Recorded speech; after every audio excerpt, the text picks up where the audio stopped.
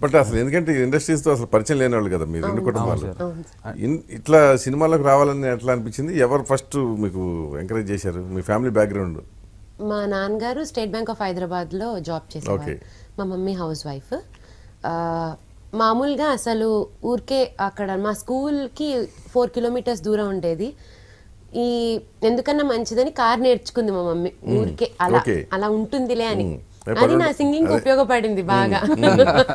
నన్ను అర్ధరాత్రులు అవనివ్వండి అపరాత్రులు అవనివ్వండి ఓ కార్ వేసుకోవడం ఇద్దరం వెళ్ళిపోవడం. మా నాన్న ఉద్యోగరీత్యా ఒకవేళ ట్రాన్స్ఫర్స్ అయ్యి వేరే ఊళ్ళల్లో త్రీ త్రీ ఇయర్స్ ఉంటే మేము ఇద్దరమే ఉండి మేము తిరుగుతూ ఉండేవాళ్ళం. మా నాన్న వచ్చినప్పుడు మేము ముగ్గురం తిరిగేవాళ్ళం.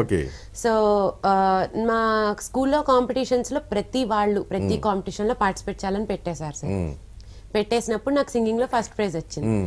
సో ఆటోమేటిక్గా మా ఇంటి వెనకాలే సంగీతం నేర్పించేవాడు ఉంటే మా కొచ్చర్లకోట పద్మావతి గారు నా దగ్గర సంగీతం నేర్చుకుంటూ నా టెన్త్ క్లాస్లో రామాచారి గారి దగ్గర లిటిల్ మ్యూజిషియన్స్ అకాడమీ మా గురువు గారి దగ్గరికి జాయిన్ అయ్యాను. జాయిన్ అయ్యాక ఇంకా అక్కడ నుంచి ఇంకా సినిమా ఫీల్డ్ మెల్లిగా పరిచయం అవ్వడం షోస్లో ఫస్ట్. ఆపర్చునిటీ రామాచారి గారు ప్రేమలేఖ రాసాని కులశేఖర్ గారి డైరెక్షన్లో వచ్చింది అందులో పాడా కానీ రిలీజ్ అది అవ్వలేదు అంత తొందరగా. ఖతర్నాక్లో Oppor- చెప్పుకుంటాను. అదే కీరవాణి గారు ఫస్ట్ ఆపర్చునిటీ ఫస్ట్ కానీ అంతకు ముందు నుంచి కోరస్లు ఎంత. ఫస్ట్ సంఖ్య ఎంత ఇచ్చారు? తొలి రెమ్యునరేషన్ తీసుకున్న ఫీలింగ్ వేరే ఉంటుంది కదా. ఇవ్వలేదు. అసలు ఇవ్వలేదా? వెరీ గుడ్ ఓకే తొలి సాంగ్కి ఇవ్వలేదు సార్. రామాచారి గారు ఇచ్చారు సార్. ఆయన he's very correct with his payments Keeravani గారు is very correct with his payments ఎంత ఇచ్చారు? మూడు వేలు ఇచ్చారు ఎవరు? రామాచారి గారు. కీరవాణి గారు. కీరవాణి గారు. తర్వాత షోస్కి ఏ అయితే ఖతర్నాక్లో ఆగగనంలో తారా జ్యోతి అని ఒక పాట అప్పుడు కూడా. ఇలాగే జలుబు వెళ్ళాను. మూడు వేలు అంటే మంచి పేమెంట్ సార్ యాక్చువల్గా ఫస్ట్ డే నాకు ఏడు వందల యాభై. నాకు ఐదు వందలు ఇచ్చారు షోస్కి మరి. ఫీల్డ్లో డైరెక్ట్గా ఆ. షోస్కి ఐదు వందలు ఇచ్చేవారు. కానీ అతను రోజుల తరబడి చేయాలి కదా చేస్తే ఏడు వందల యాభై. అదే సార్ పొద్దున్న ఆరింటి నుంచి సాయంత్రం ఆరింటి వరకు చేస్తే ఏడు వందల యాభై ఇచ్చారు. సార్. తర్వాత ఇప్పుడు నేను కీరవాణి గారు మూడు వేలు ఇచ్చారు కదా అని ప్రతి వాళ్ళు మూడు వేలు ఇవ్వడానికి లేదు సార్. వెయ్యి రూపాయలు ఇచ్చేవారు మిగిలిన వాళ్ళందరూ. అవునా? అంటే కొత్త మ్యూజిక్ డైరెక్టర్స్ అందరూ. ఇప్పటికీ పాటకి నేను నేను పరిచయం అయిన మూడేళ్ళలో నేను ఒకటి రెండు పాటలకి పదివేలు తీసుకోవడం చూశాను కానీ మాక్సిమం నెంబర్ ఆఫ్ సాంగ్స్కి మహా అయితే maximum is three thousand. Fifteen hundred two thousand ఇస్తారు ఇప్పటికి. ఆటో ఖర్చులు కూడా రావు అసలు ఏం ఉండదు ఇంకా అలా ప్రస్తుతం పాడేమని తృప్తి. అంటే తృప్తి అంటే అది హిట్ అవుతే దాని కూడా వల్ల కదా ఏ వేసులాగా తృప్తి. తృప్తి. అంటే తృప్తి కూడా అంటే ఎక్కువ డబ్బులు వస్తే తృప్తి. Ya what he said is right sir అది లో బడ్జెట్ సినిమాలకి. పెద్ద బడ్జెట్ సినిమాలకి ఎలా ఉంటుందంటే నేనైతే అడగను. ఇంత అని చెప్పి నేను అడగను. వాళ్ళు ఎంత ఇస్తే అవి వాళ్ళు చెక్కులు ఇచ్చేస్తారు అవి కూర్చుని ఇంకా వెళ్ళిపోతాయి. సో మ్యూజికల్ ట్రూప్ ప్రోగ్రామ్స్కి ఎక్కువ వస్తాయి మీకు? మామూలు బయట ప్రోగ్రామ్స్ ఎక్కువ వస్తాయి. అండ్ అది అంతే. ప్రోగ్రామ్స్కి ఎక్కువ వస్తాయి కానీ ప్రోగ్రామ్స్లో డబ్బులు ఆర్ ప్రోగ్రామ్స్ పాడాలంటే పాటలు ఉండాలి. అది. సో ఇక్కడ తక్కువ పాడినా మనం ఫ్రీగా పాడినా publicity అక్కడ కాంపెన్సేట్ అయిపోతుంది. అదే ఈ- పబ్లిసిటీ అక్కడ that is known to everybody sir అంటే షోస్ చేసి అందరికి it's an open fact everybody knows about it so ఇంకా అలా అలా చేసుకో ఓకే గుడ్ యాక్టర్స్కి అలా లేదు కానీ అదే కదా ఇప్పుడు వాట్ అబౌట్ నందు? మా- ఆ, అసలు నా- ఎందుకంటే మీకు అమ్మగారు- కూడా మీ ఫ్యామిలీలో ఎవరు. ఉన్నారా? మీ ఫాదర్ అంటే ఏం చేస్తారు? మా- నాన్నగారు చార్ట్ అకౌంటెంట్ అమ్మ వచ్చేసి బ్యాంక్ ఎంప్లాయీ ఓ, ఆవిడ employee నా? ఫౌండరీ బ్రాంచ్లో పనిచేసింది అమ్మ. సో అసలు వాళ్ళకి ఫీల్డ్ సంబంధం లేదు. కాకపోతే మా మావయ్య గారు ప్రకాష్ భరద్వాజ్ ఆయన సీరియల్స్ చేశారు సార్. ఆయనకి నంది అవార్డు కూడా వచ్చింది ఫస్ట్ సీరియల్. తూర్పులో పడమరా అని చేశారు చాలా బ్యాగ్ సో అదొక ఆయన ఇన్ఫ్లుయెన్స్ ఉండింది. ఎంతైనా మేనమామ కాబట్టి అది ఉంటుంది. కాకుండా సార్ మా కాలనీ గ్రౌండ్లో నాటకాలు వేసేవాళ్ళు. నేను చిన్నప్పటి నుంచే చేశాను. నేను యూకేజీ ఫస్ట్ నుంచి ప్రతి ఏటా వినాయక చవితికి నేను చేసేవాడిని. Okay. ఇద్దరు డాన్స్ కానీ డ్రామా కానీ. ఒక ఏడాది అలా చేసరికి ఒక డ్రామా బాగా హిట్ అయింది ఒక కామెడీది. దాంతో కాలనీలో అందరు స్పెషల్గా ట్రీట్ చేయడం స్టార్ట్ చేశారు. దాంతో ఒక తెలియని ఆ ఫేమ్ ఫేమో లేని. పిచ్చి పట్టింది. అది దురద. దురద. ఇచ్చింగ్ మొదలైంది. అది మొదలయ్యేసరికి ఇది దీన్ని నెక్స్ట్ లెవెల్లో చేయాలి. ఆ నెక్స్ట్ ఇయర్ నుంచి ఇంకా వినాయక చవితి ఇదంటే నేను కూర్చొని మా టీం అందరం ఇలా చేయాలి కొత్తగా చేయాలి అలా. అందులోంచి ఒక ఒక డైరెక్షన్ డిపార్ట్మెంట్ వాడు.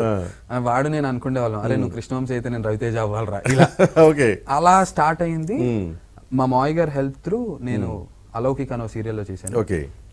ఆ, తర్వాత సార్ అక్కడ నుంచి ఇంకా ఆ దురద ఏదైతే ఉందో ఇచ్చింగ్ అందరితో పరిచయాలు. ఆ కెమెరామెన్ ఆ డైరెక్టర్ వాళ్ళతో రోజు ఫోన్లు చేసి కలవడం. అలా అలా అలా చేశాను సార్. అలా చేసి చేసి చేసి భిక్షు అరుణ భిక్షు గారు అని ఉన్నారు. వాళ్ళ దగ్గర యాక్టింగ్ ట్రైనింగ్కి జాయిన్ అయ్యాను భిక్షు. సార్ దగ్గర వాళ్ళు చాలా సపోర్ట్ నన్ను బాగా దే ఓన్ మీ అన్నమాట. అంటే వాళ్ళ ఇంట్లో అబ్బాయిలా సొంత. మనిషిలాగా. సొంత ఉమ్, కొ- కొడుకులాగా. సో కొడుకులా చూసుకున్నారు. సినిమాలో అవకాశం లేకపోయినా నేను ఖాళీగా ఉండేవాడిని. అప్పుడు అక్కడ ట్రైనింగ్ ఎవరైనా వస్తే వాళ్ళతో పాటు నేను ఇటు పక్క ఉండేవాడిని. అంటే హెల్ప్ ఇంకా యాక్టర్ ఇంకోటి ఉండాలి కదా అలా ఉండేవాడిని. సార్ అలా చాలా మంది యాక్టర్స్తో చేశాను పూనం కౌర్ రామ్ ఇలియానా వీళ్ళందరితో చేశాను. సో అలా సర్కిల్ డెవలప్ అయింది సార్. అక్కడ నుంచి ఆడిషన్స్. నాకు నేను ఇప్పటికీ నాకు గుర్తు కృష్ణవంశీ గారి ఆయనకు అసలు కృష్ణవంశీ గారితో ఇప్పటివరకు చెప్పలే ఆ విషయం. శ్రీ ఆంజనేయం సినిమా చేసినప్పుడు ప్రసాద్ ల్యాబ్స్ దగ్గర అంటే వెళ్ళి ఫోటోలు ఇచ్చి కలిసి తర్వాత గుణశేఖర్ గారు సైనికుడు సినిమాకు ఆడిషన్స్ ఇచ్చి అలా తిరిగాను సార్. అలా తిరిగిన తర్వాత ఒక్కో సినిమా స్టార్ట్ అయింది. సెకండ్ హీరోగా చేశాను. అలా నాకు ఎలా వర్కౌట్ అయిందంటే ఒక సినిమాకి హీరో కావాలి. ఎవరున్నారయ్యా అంటే కొంచెం రేంజ్ ఉన్న వాళ్ళు డబ్బులు ఎక్కువ అడుగుతారు. వీళ్ళ బడ్జెట్ తక్కువ. తెలిసిన మొహంలో ఉండాలి. ఆ కుర్రాడు చేసాడుగా సెకండ్ హీరో కావాలని పెట్టేయండి అలా ఈ స్ట్రీమ్లోకి వచ్చింది. ఓకే. లక్కీగా ఒక ఆడిషన్కి వెళ్తే ఎయిర్టెల్ యాడ్ ఒకటి నాకు అవకాశం వచ్చింది. రామ్ చరణ్తో చాలా పెద్ద బాలీవుడ్ డైరెక్టర్ నిఖిల్ అద్వాని. ఆయన సెలెక్ట్ చేశారు నన్ను. సో నేను రామ్ చరణ్ గారు ఇద్దరం బాంబేలో షూట్ చేసాం అది గీతా ఆర్ట్స్ వాళ్ళు చూడటం. గీతా ఆర్ట్స్లో హండ్రెడ్ పర్సెంట్లో క్యారెక్టర్కి కావాలనుకుంటే ఆ కుర్రాడు చరణ్ పక్కన చేసిన అబ్బాయి ఉన్నాడు కదా అబ్బాయిని పిలిపియండి. సుకుమార్ సార్ ఆడిషన్ హండ్రెడ్ పర్సెంట్లో హిట్ అవటం. ఇంకా అజిత్ ఇప్పటికీ ఎన్ని సినిమాలు చేసినా అజిత్తే. ఈ మధ్య ఒక పాఠశాల సినిమా కూడా కొంత యూత్లోకి రీచ్ అవడంతో ఆ రాజు అని అన్నారు కానీ ఇప్పటికీ అజిత్తే. ఇప్పటికీ నిజంగా నేను ఈ- ఏ మాత్రమైనా సంపాదించుకున్నాను ఏ మాత్రమైనా కొంత అంటే గీతా మాదిరి లాంటి అమ్మాయి నన్ను పెళ్ళి చేసుకోవటం. కొంత నాకంటూ ఏదన్నా స్టేటస్ ఉందంటే ఓన్లీ గీతా ఆర్ట్స్ వల్ల సార్. వాళ్ళే ఆ హండ్రెడ్ పర్సెంట్లో అనేది లేకపోతే ఆటోనగర్ సూర్య లేదు రభస లేదు. హీరో పాఠశాల ఏవి లేవు. అసలు గుర్తింపు వచ్చేది కాదు. ఆవిడ పట్టించుకునేది కాదు. ఎలా ఉంటుంది? నువ్వు చేసి నేను నాన్న అబద్ధానికి కదా పట్టించుకున్నా అప్పటికి హండ్రెడ్ పర్సెంట్లో సార్ హండ్రెడ్ పర్సెంట్లో ఆడియో అంటే పట్టించుకోవడం అతను అట్లా చేస్తూ ఉండి మీకు పరిచయం అయ్యి ఉండేవాడు కాదు కదా. ఒకవేళ had not been actor exactly ఎదురయ్యేవాడు కాదు కదా ఎదురుపడే అవకాశం ఉండేది కాదు కదా.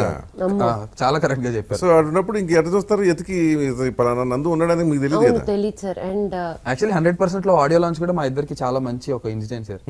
నేను హండ్రెడ్ పర్సెంట్ లవ్లో చూస్తే యాక్చువల్లీ బొద్దుగా ఉంటాను. నైన్టీ ఫైవ్ కేజీస్ ఉన్నాను అప్పుడు. సో సుకుమార్ గారు తిట్టారు. ఈ సినిమాకి అయితే ఓకేరా నెక్స్ట్ చేయాలంటే బాగా తయారవ్వాలి సన్న కావాలంటే బాగా సన్నపడ్డాను సార్. సో తనకి హండ్రెడ్ పర్సెంట్లో షూటింగ్ అప్పుడు పరిచయం నేను. ఆడియో లాంచ్ టీవీలో లైవ్ వస్తుంటే నాకు మెసేజ్ వచ్చింది. Is that you in hundred percent love launch అంటే ఎస్ హూ ఇస్ దిస్ అని పెట్టా. నెంబర్స్ లేవు. ఓకే దిస్ గీతా మాదిరి అంటే అక్కడ నుంచి మళ్ళీ అదేంటి ఇంత సన్నగా అయిపోయారు? Why this and all? ఉమ్. ఇలా ఇలా. సో బహుశా సన్నగవటం కూడా కలిసి వచ్చి ఉంటుంది. అంతే ఎనభై కిలోలతో ఉండంటే కనుక she would been in thinking అవును కరెక్ట్ కదా? అయ్యో లేదు. I just can't think of it also అంతే కదా. మీరు మధ్యలో మరి ఎందుకు గ్యాప్ ఇచ్చారు. మళ్ళీ సన్నపడ్డాక ఈజ్ దిస్ అని సార్ చెప్పి అంతకు ముందు అంత అంటే ఏదో కలిసినప్పుడు హాయ్ హాయ్ గానీ మాటలు లేవు. నీకు అర్థం కావట్లేదు. నేను సన్నపడినందుకు ఆ ఇన్సిడెంట్ ఏర్పడింది. మెసేజ్ చేయాల్సి వచ్చింది. బేసిక్ ఏంటంటే హైట్ వైజ్ ఫిజిక్ వైజ్ ముఖం ముక్కు మామూలుగా ఏంటంటే ఇదివరకు ఇవన్నీ చూసేవాళ్ళు అన్నీ బాగానే ఉన్నాయి నీకు. అంటే ఏది కూడా ఇది మైనస్ ఈ అబ్బాయికి అనడానికి లేదు కానీ ఇక్కడేమో గాడ్ ఫాదర్ లేకపోతే నడవని పరిస్థితి ఇండస్ట్రీలో. ఏం లేకపోయినా సరే గాడ్ ఫాదర్ ఉంటే చాలు. ఏదో ఒక జెండర్ అయ్యి ఉండి మగవాడో. ఆ- అట్లాంటి డేస్ వచ్చాయి కదా. సో ఇట్లా ఈ పోటీని ఎట్లా తట్టుకుందాం అనుకుంటున్నా? కష్టమే యాక్చువల్గా. కదా? కష్టం. వాళ్ళకుండే ప్రాబ్లమ్స్ వాళ్ళకి ఉన్నాయి సార్? అంటే నేను నేను ఇమేజ్ ప్రాబ్లం తప్ప ఇంకేముంటుంది? పాపం వాళ్ళ ఫాదర్ ఇమేజ్ ప్రొటెక్ట్ చేయటం? రకరకాలు ఉన్నాయి సార్ నేను నేను నాగ చైతన్యతో చేశాను ఎన్టీఆర్ గారితో చేశాను అండ్ ఇలా చేశాను కదా సార్ పెద్ద హీరోలతో వాళ్ళకి ఎప్పుడు కూడా మీరు అన్నట్టు ఒకటి ఫాదర్ ఇది ఉంటుంది. ఫాదర్ కానీ గ్రాండ్ ఫాదర్ కానీ వాళ్ళు ఆల్రెడీ స్టార్స్ కదా. వీళ్ళు ఇప్పుడు నేను తప్పు చేసినా అరే నేర్చుకుంటున్నాడా అంటారు అంటారు. కానీ వాళ్ళు తప్పు చేస్తే వీడేంట్రా ఇలా? జడబుట్టాడు అనేస్తారు. పాపం వాళ్ళు ఎప్పుడు కన్సిస్టెంట్ ప్రెషర్లో ఉంటారు. అది చాలా టార్చర్ సార్ నాకు ఆ బ్యాక్గ్రౌండ్ లేకపోవడమే నేను లైఫ్లో హ్యాపీగా ఉన్నాను అనిపిస్తుంది. అది okay that is one part ya stardom పరంగా ఫస్ట్ ఇనిషియల్ ఫిల్మ్స్ కానీ సినిమా ఆడకపోయినా రెండో సినిమా సపోర్ట్ చేసి తీసుకెళ్ళే స్ట్రెంగ్త్ ఉంటుంది ఫ్యామిలీ ఉంటే. అది లేనప్పుడు కొంచెం కష్టమే. అంటే అదే అంటున్నా. అంటే ఇప్పుడు నాకు అన్నీ ఉన్నాయి కానీ నాకు అవకాశం రాలేదు. ఏమి లేకపోయినా వాళ్ళకి వస్తుంది. బికాస్ ఆఫ్ దట్ అని ఫీల్ అవ్వలేదు ఎప్పుడు? ఎవరైనా సరే. పలానా ఎక్స్ వైజెడ్ మనకు అనవసరం. మా నాన్నగారు వీళ్ళు ఒకవేళ మా నాన్నగారు చార్ట్ అకౌంటెంట్ కాకుండా హీరో అయి ఉంటే నాకు ఇంకా ఈజీ ఉండేది కదా అనుకున్నాను. అట్ ది సేమ్ టైం నాకు సినిమా ఫీల్డ్లో కష్టం ఎంత కష్టం ఉన్నా ఒక ఫన్ ఉంటుంది సార్. మీకు తెలియంది కాదు. అదొక సర ఆ కష్టం కూడా ఒక హీరోయిజం ఇస్తూ ఉంటుంది. ఆడిషన్కి వెళ్ళాను రా ఏ ఆడిషన్ ఏ ఆడిషన్కి వెళ్ళాను ఏ కాంపౌండ్లో అదే కాంపౌండ్లో అదే డైరెక్టర్ పిలిపించి ఆ నందు గారు మనం నెక్స్ట్ క్యారెక్టర్ అని పిలిస్తే ఆ కిక్ అవుట్ అవుతుంది. అవును. ఆ ఫేజ్లో ఉన్నాను సార్ ప్రస్తుతం ఎంజాయ్ చేస్తున్నాను రిజెక్ట్ చేసిన కాంపౌండ్లో నేను సీరియల్స్ చేసిన కాంపౌండ్లోకి నాకు సినిమాలకి పిలిచి ఒకటి ఉందండి మీరు చేస్తే బాగుంటుందండి మీరు చేస్తారా కొద్దిగా చూడండి. మనం అప్పుడులో అనే సందర్భాలు ఏర్పడ్డాయి రెమ్యునరేషన్ ఇప్పుడు?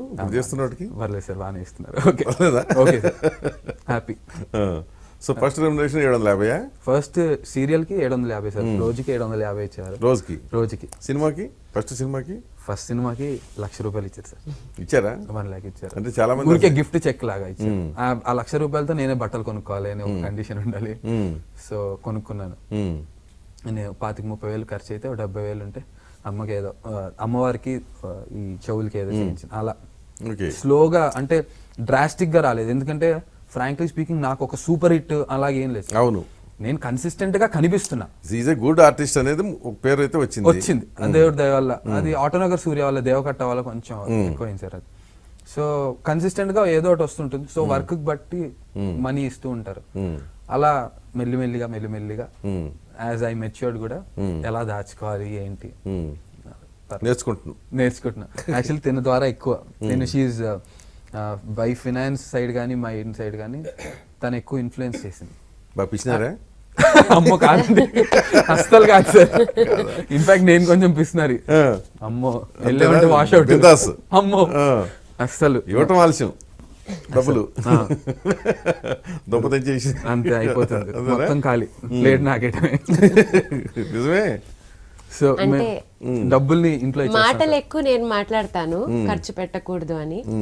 కానీ చేసేది. ప్రాక్టికల్గా నేనేమో నేనేమో అన్ని అసలు స్పోర్ట్స్ కార్ చూడు అది చూడు. అంటే ఎలా ఉంటుందంటే అమ్మ నందు అంటే వీళ్ళు లావిష్ వెళ్ళు అనుకుంటారు బాగా డబ్బులు అనుకుంటారు కానీ నా మాటల వరకే అలా. ఖర్చుకు వచ్చేసరికి చాలా కరెక్ట్గా ఉంటాను. క్యాల్కులేటెడ్గా కూడా. చాలా క్యాలిక్యులేటెడ్గా ఉంటాను. తీయను,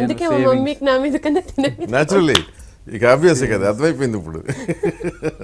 అదంతా ఎందుకు షేర్ చేసుకోవడం అంటే అమ్మాయి జాగ్రత్తగా రూపాయిని జాగ్రత్తగా చూసుకుంటాడు. ఆ నమ్మకం ఎప్పుడు ఏ అత్తలకైనా అదే మామూలకైనా అదే కోరుకుంటారు వాళ్ళు